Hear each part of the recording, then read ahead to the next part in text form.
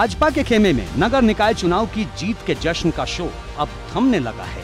तो समाजवादी पार्टी के खेमे में हार के नतीजों में भी जीत के समीकरण तलाशे जा रहे हैं। अगर हम परिणाम कर्नाटक का देखें और उत्तर प्रदेश का निकाय के चुनाव को देखें, वहाँ जनता ने परिणाम ऐसा दिया है कि भारतीय जनता पार्टी देश से बाहर जाएगी। ये बता रहा है कि आने वाले समय में भारतीय जनता पार्टी न केवल जहाँ कर्नाटक से साफ़ हुई है उत्तर प्रदेश या अन्य राज्यों से भी भारतीय जनता पार्टी का सफाया होगा। अखिलेश वोट प्रतिशत के हिसाब में जुटे हैं और कोशिश इस बात की है कि इस निराशाजनक नतीजे में भी सपा समर्थकों के लिए मनोबल बढ़ाने वाली बात तलाशी जाए। अखिलेश का दावा है कि बुनियादी मुद्दों पर आखिरकार जनता भाजपा को सबक सिखाकर दम लेगी। जो बुनियादी सवाल थे वो वही कि वही हैं कि नहीं है? महँगाई चरम सीमा पर है। क्या बेरोजगारी चरम सीमा पर नहीं है? तो शहरी समस्या अलग हैं, हमारे किसान की समस्या अलग है। किसान की कोई गेहूँ खरीद नहीं हुई। जैसी की जो महँगाई थी वैसी दिख रही है, जो तकलीफ़ है वैसी दिख रही है। तो क्या बदला है नौ साल में? राजनीति की भविष्य रेखा भले ही अभी धुंधली हो 2024 में क्या होगा, इसकी भविष्यवाणी मुश्किल हो। लेकिन नगर निकाय चुनाव के नतीजों के आधार पर इसकी रणनीति का ताना बाना अभी से बुना जाने लगा है। भले ही नगर निकाय के चुनाव में भी सपा की हार का सिलसिला कायम रहा, लेकिन अखिलेश को पूरा यकीन है कि 2024 में सपा की ही गोटी लाल होगी। उधर भाजपा इस बयान को ख्याली पुलाव करार दे रही है। जिस तरीके से कर्नाटक में बदलाव हुआ है, या उत्तर प्रदेश में आज भी अगर मैं हिसाब किताब वोटों का लगाएँ जितना जन समर्थन लगातार समाजवादी पार्टी का बढ़ा है।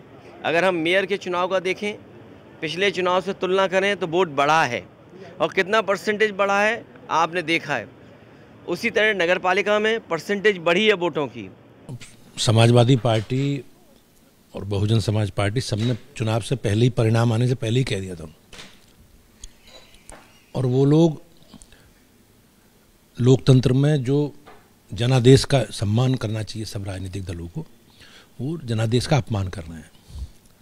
जनता का निर्णय है, सबको स्वीकारना चाहिए। समाजवादी पार्टी हार की समीक्षा में जुटी है। चुनाव दर चुनाव नए प्रयोग करने वाले अखिलेश ने 24 की रणनीति का बुनियादी मुद्दों वाला ट्रेलर दिखा दिया है। तो शिवपाल यादव पहले ही ऐलान कर चुके हैं कि 24 के चुनाव में सपा भाजपा को उखाड़ कर ही दम ले अभी तो इस चुनाव में जो भी रिज़ल्ट आए हैं वैसे तो समाजवादी पार्टी ने देखिए बड़ी टक्कर दी है भारतीय जनता पार्टी को। और आगे हम इसकी समीक्षा करेंगे। और समीक्षा में जो भी कमजोरियाँ थीं उसे दूर करेंगे। और इसलिए दूर करना है कि 2024 में समाजवादी पार्टी भारतीय जनता पार्टी को चुनौती के रूप में समाजवादी पार्टी चुनाव में आएगी। इस बीच सपा बार बार चुनाव में धांधली के आरोपों को हवा देने में जुटी है जबकि भाजपा गठबंधन के नेता सपा को नई चुनौती दे रहे हैं। यहाँ तक कह रहे हैं कि अगर उनकी नज़र में चुनाव में धांधली हुई है तो वो जीती हुई सीटें छोड़ दें।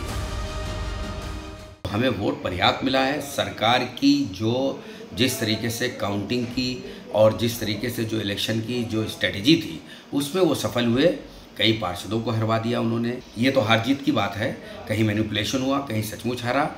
लेकिन सच्चाई ये है कि हम जनहित की बातों को 2024 से सड़कों पर लाके, ज़मीन पर लाकर जनता का ध्यान आकर्षित करेंगे। रामायण में लिखा हुआ कि जिसकी जैसी भावना होती है, वैसी नहीं होती।